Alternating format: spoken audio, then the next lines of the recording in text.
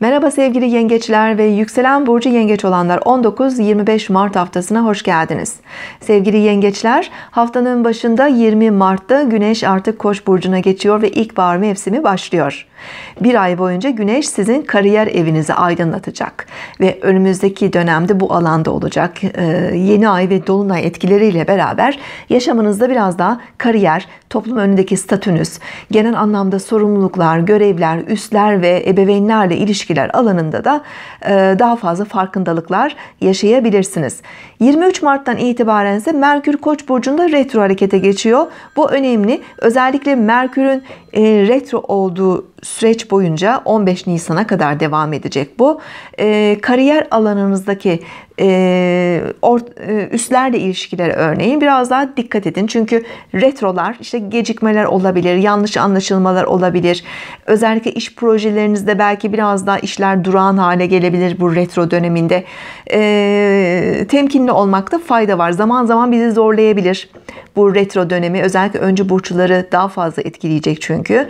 Ee, siz de zaman zaman hayatınızda biraz daha böyle tıkanmalar, gecikmeler hissedebilirsiniz.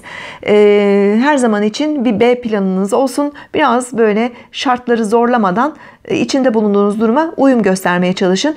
Geçmişten gelen konular, eksik işler, önceden yapmaya başladığınız ama tamamlamadığınız yarım kalmış konularda bu dönemde karşınıza çıkabilir. İşte onları tekrar ele almak, tamamlamak için de size bir fırsat sunabilir Merkür Retrosu. Evet Mars Oğlak Burcu'nda. Sizin için önemli bir transit e, ve iki ay kadar da Mars Oğlak Burcu'nda olacak. Tam e, partner evinizde, ilişkiler evinizde. Bu da demek oluyor ki bu dönemde ilişkiler alanında daha fazla enerji harcayacaksınız, motive olacaksınız. Ancak bir yandan da mücadele alanı burada.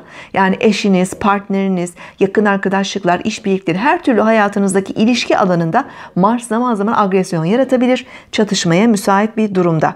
Hafta sonunda da Güneş ile Mars arasında bir kare açı söz konusu. Ay da yengeçten geçerken hayatınızda biraz daha böyle gerilim hissedebilirsiniz. Her türlü ilişkinizde e, ego savaşları olabilir, fikirsel veya duygusal çatışmalar olabilir. Gereksiz yere karşınızdaki kişilerin ani öfkeleriyle sert tavırlarıyla karşılaşabilirsiniz. Bunları biraz tolere etmeniz gerekiyor. Dikkatli olmanız, temkinli olmanız, daha sağduyulu hareket etmeniz gerekiyor sevgili yengeçler.